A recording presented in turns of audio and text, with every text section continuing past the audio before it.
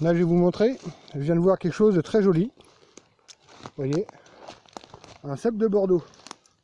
Par rapport à ma main, vous voyez Il est énorme. Il est énorme. Ça, c'est vraiment du très très très très beau euh, cèpe de Bordeaux. Euh, il est un peu vert en dessous, mais ça c'est pas grave parce qu'on en- on enlève la mousse. On enlève la mousse verte ou on la garde pour faire de la soupe. Mais celui-là, il est splendide. Il est- en fait, il est pas vieux. Hein. Ça, c'est un, un qui a 2-3 jours, c'est tout. Hein. 2 jours même, c'est tout. Hein. Il est énorme.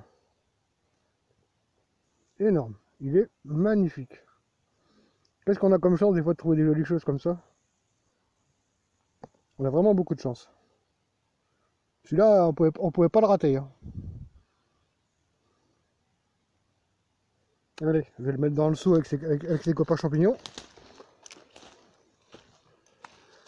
Et dedans, il y a pied rouge, pied de mouton. J'ai des petits bolets baies aussi. Mais là, euh, le cèpe de Bordeaux, il est magnifique. Et là aussi, regardez.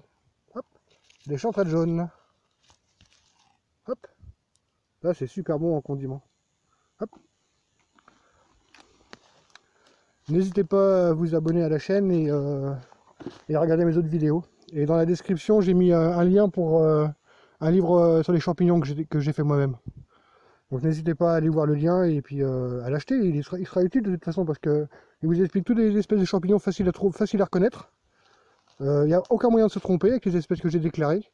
Et de- dedans, j'ai mis les recettes. Une trentaine de recettes différentes pour utiliser les champignons. Vous allez voir, euh, moi je les pratique ces recettes-là et c'est vraiment très très bon. Allez, je vous laisse. N'hésitez pas à vous abonner encore une fois et, euh, et puis bonne journée. Au revoir.